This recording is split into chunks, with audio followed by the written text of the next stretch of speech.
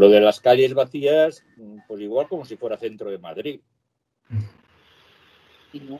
Con una diferencia que al centro de Madrid, a lo mejor para ir a comprar el pan, te has de desplazar 100 metros y según qué pueblos se ha de desplazar 3 kilómetros, porque en su pueblo no tiene panadería. La mediana de edad, al menos en lo que es Sierra Norte, la mediana de edad es muy alta.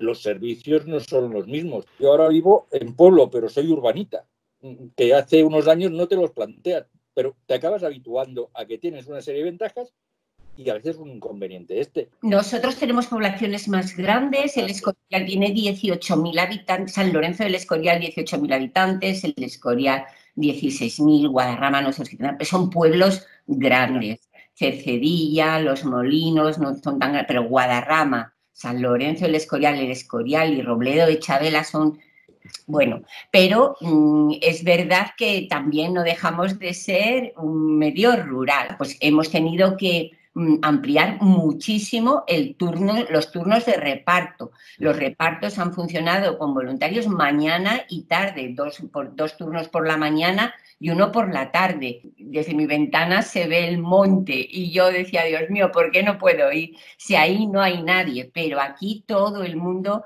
ha cumplido el confinamiento. No se salía al campo a pesar de que el campo casi lo tienes a la puerta de tu casa.